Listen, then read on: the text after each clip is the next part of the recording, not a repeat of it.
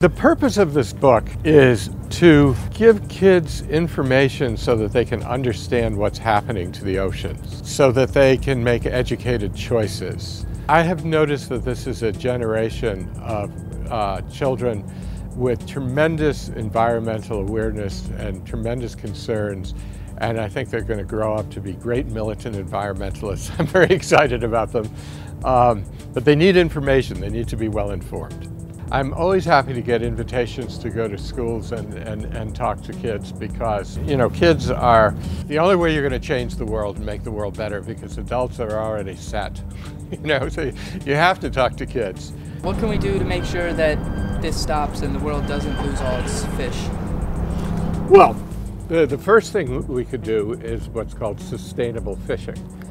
That is, we have the capability to make pretty good estimates on how many fish of a certain species are in a certain area. You have to make sure that only a certain percentage of that population is taken by fishermen so that uh, that population can maintain itself. And you can't count eggs, which is a mistake that people used to make.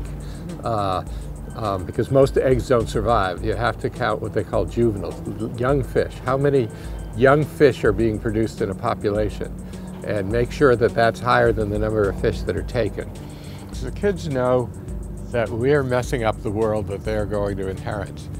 Um, and I don't think that you have to work very hard to convince them of that. I think they know that.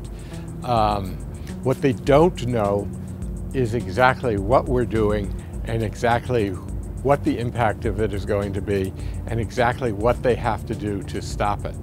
So now we're in this very, very tricky business of trying to reorder nature and get it to work again. It's, it's, it's very hard to do. We would have been much better off not messing with it in the first place. The entire life on the planet could start unraveling if we don't save about 30 species of fish that we eat and kids are interested and, uh, and they, they want to know.